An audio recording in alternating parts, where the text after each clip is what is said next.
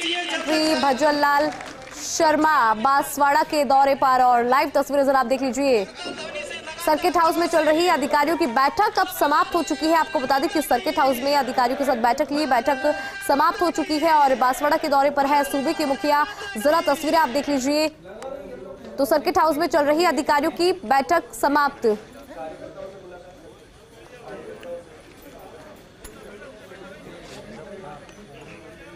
और अधिक जानकारी के लिए हमारे सहयोगी पीके अग्रवाल हमारे साथ जुड़ रहे हैं। उनसे भी हम जानकारी लेंगे। देखिए पीके अग्रवाल, जिस तरह से मुख्यमंत्री भजनलाल शर्मा आज ताबड़तोड़ दौरे कर रहे हैं, फ़िलहाल बांसवाड़ा के दौरे पर है, क्या जानकारी? जिस तरह से सुबह से मेवाड़ के दौरे पर भीलवाड़ा के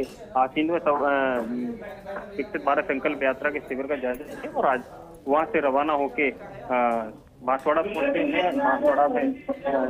आज सर्किट हाउस में है सबसे पहले उन्होंने सर्किट हाउस पहुंचकर अधिकारियों की बैठक ली है अधिकारियों से संवाद किया है। सबसे पहले तो यही जानने की कोशिश की थी कि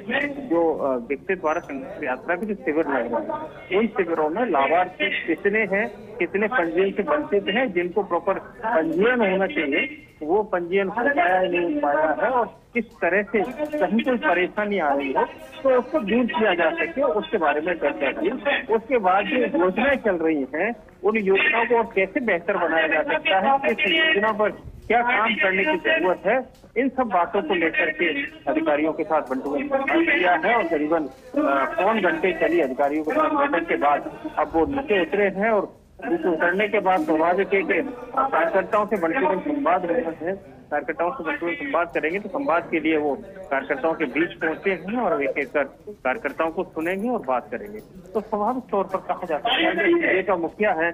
जिस इलाके के दौरे पर रहते हैं तो कोशिश यही रहती है कि हर व्यक्ति की समस्या हो, उसका समाधान हाथों हो या उसे समझे आखिर समस्या क्या है जिसका समाधान करना है? बड़ी संख्या में पार्टी के पदाधिकारी, कार्यकर्ता पहुँचे हैं, सरकार बदली है। तो स्वाभाविक है कि किस तरह से काम करना है, आगे सरकार की रणनीति तय करनी है, इन सब पर चर्चा होना बाकी है। बिल्कुल पीके अग्रवाल देखिए क्योंकि मुख्यमंत्री बजरलाल शर्मा कार्यकर्ताओं से संवाद करेंगे उनसे बातचीत भी करेंगे तो तस्वीरें बहुत खास हो जाती है। और पीके अग्रवाल अगर बात मुख्यमंत्री बजरलाल शर्मा की अगर हम करते हैं तो देखने को मिलता है कि बहुत सरलता से सहजता से आप लोगों से भी बात करते हैं और ये तो उनके खुद के कार्यकर्ता है तो यहाँ पर तस्वीरें बहुत कुछ खास निकल कर आएँगी और फ़िलहाल हम देख सकते हैं कि स्वागत की तस्वीरें निकल कर आ रही है। पीके अग्रवाल। निश्चित तौर पर अभी जिस प्रकार से सुनवाई चल रही है अभी उसका स्वागत सरकार कर रहा है ये पार्टी के पदाधिकारियों कार्यकर्ताओं तो पहली बार जिस तरह से मुख्यमंत्री पहुँचे हैं तो मुख्यमंत्री बंजला शर्मा का एक कार्यकर्ता पदाधिकारियों का स्वागत कर रहा है। फूलों की मालाएँ पहनाई जा रही है और इसके लिए बकायदा जो लोग हैं अपने साथ में फूलों की माला लेके आए हैं लेके आए हैं तो उनका स्वागत कर रहे हैं। एक एक करके उनको बुलाया भी जा रहा है कि जिन जिनका नंबर आ रहा है अपनी बारी से उनका स्वागत करें। और स्वागत कार्यक्रम के मुख्यमंत्री बनने के बाद भजनलाल शर्मा पहली बार बांसवाड़ा आए स्वाभाविक है कि मुख्यमंत्री बनने से पहले भजनलाल शर्मा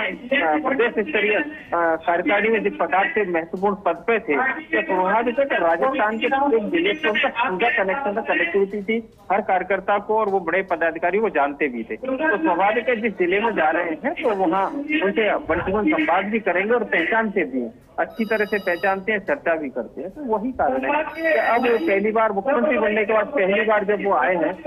तो स्वाभाविक है स्वागत हो रहा है और जिस तरह से लोग पहुँचे बड़ी संख्या में पार्टी के पदाधिकारी कार्यकर्ता पहुँचे हैं वो उनका एक एक स्वागत कर रहे हैं और स्वागत का क्रम अभी लंबा चलेगा इस तरह से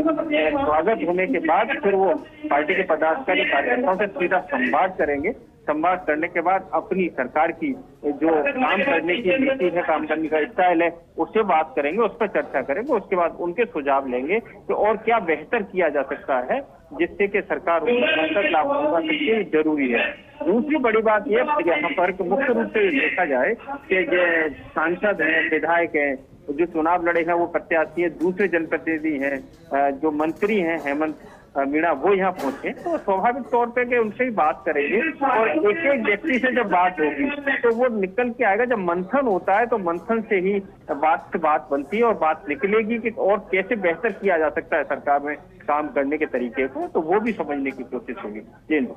बिल्कुल, और पीके अग्रवाल आपसे ये भी जानकारी लेना चाहेंगे कि वापसी का कार्यक्रम कब है मुख्यमंत्री बजलाल शर्मा का, क्योंकि आज ताबड़तौर दौरे, उनकी भीलवाड़ा भी गए, फ़िलहाल बांसवाड़ा है में है तो ऐसे में वापसी का क्या कार्यक्रम और इसके बाद क्या है कार्यक्रम मुख्यमंत्री का?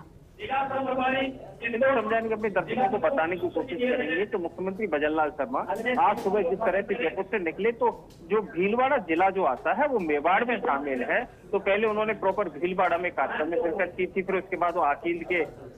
के गाँव में जाकर के जहाँ उन्होंने विकसित भारत संकल्प यात्रा के शिविर का अवलोकन किया और वहाँ से वो सीधे बांसवाड़ा पहुँचे। बांसवाड़ा में आज रात्रि विश्राम का कार्यक्रम है और सुबह यहाँ से वो त्रिपुरा सुंदरी जाएँगे। त्रिपुरा सुंदरी जाके माँ त्रिपुरा सुंदरी के मंदिर में विशेष पूजा अर्चना करेंगे और वहाँ से फिर वो पूजा अर्चना के बाद मुख्यमंत्री भजन लाल शर्मा का तलवाड़ा में विकसित भारत संकल्प यात्रा के शिविर के अवलोकन का कार्यक्रम है। वहाँ से वो सीधे लौटेंगे वापस और फिर जयपुर जाने का कार्यक्रम बताया जा रहा है। फ़िलहाल ये अधिकृत रूप से जो प्रोग्राम जारी हुआ है सीएम का वो इस तरह से रहेगा। दूसरी बड़ी बात यह है कि मुख्यमंत्री का प्रयास यही है कि जो शेड्यूल कार्यक्रम है, उसके अलावा अगर सरकार की ओर से किसी के लिए बेहतर किया जा सकता है तो संशोधन करने में ज़्यादा देर नहीं है लेकिन फ़िलहाल जिस तरह से बड़ी संख्या में लोग पहुँचे और उनका स्वागत कर रहे हैं स्वागत के बाद वो वन टू वन संवाद भी करेंगे, लेकिन इस स्वागत का जो सिलसिला है, वो लंबा चलने वाला है, क्योंकि मुख्यमंत्री बनने के बाद भजनलाल शर्मा पहली बार पहुँचे और हर पार्टी के पदाधिकारी और कार्यकर्ता की इच्छा भी है कि वो उनसे वन टू वन संवाद करे, जाके उनका स्वागत करें, क्योंकि अपने प्रदेश सूबे का मुखिया जब पहुँचता है तो उसका स्वागत करना लाजमी बिल्कुल, पी के अग्रवाल, आपसे ये जानकारी लेना चाहेंगे, क्योंकि कार्यकर्ताओं से मुख्यमंत्री रूबरू हो रहे हैं तो ऐसे भी कार्यकर्ताओं में मुख्यमंत्री को लेकर कितना उत्साह, क्या है तस्वीरें?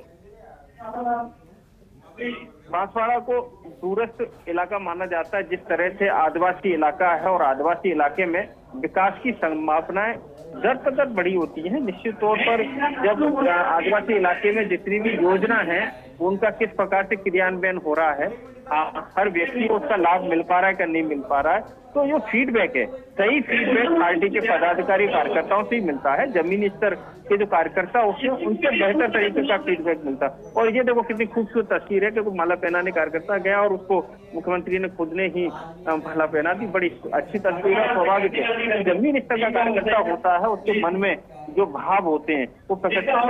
करता है। और स्वाभाविक है। एक एक आवाज़ लगा करके उनको बुलाया जा रहा है। उत्साह का माहौल देखते ही बन रहा है जिस तरह से बड़ी संख्या में जो लोग पहुँचे हैं वो मुख्यमंत्री का स्वागत करने के लिए पहुँचे और चूँकि सरकार के सत्ता परिवर्तन हुआ है स्वाभाविक है कि पार्टी के पदाधिकारी, कार्यकर्ता उत्साहित हैं तो उनकी सरकार बनी, लेकिन दूसरे लोग भी बड़ी संख्या में पहुँचे हैं, जो मुख्यमंत्री की एक झलक देखना चाहते हैं। और दूसरी बड़ी बात है कि फेस होता है, पहले से तय होता है कि ये सीएम बनेगा तो उसके प्रति लोगों का लगाव उतना कम देखने को मिलता है, क्योंकि पता होता है कि वो फेस है। लेकिन एक नया चेहरा बिल्कुल ज़मीन से उठा करके जब सीएम बनाया गया तो निश्चित तौर पर एक बहुत बड़ी अपेक्षाएँ बढ़ जाती है पार्टी के पदाधिकारी कार्यकर्ताओं की। कि ज़मीन स्तर से उठा करके कार्यकर्ताओं को कहाँ से कहाँ पहुँचा दिया जाए, वो सिर्फ़ भाजपा में ही संभव है। और ये बड़ी बात है कि इस बात को लेकर के जो जमीनी स्तर के कार्यकर्ता हैं, उनमें उत्साह का माहौल है कि जिस तरह से, जिस तरह से एक मुख्यमंत्री बनाया गया है, बिल्कुल नीचे से ला करके जिन्हें मुख्यमंत्री का दायित्व दिया गया है तो स्वाभाविक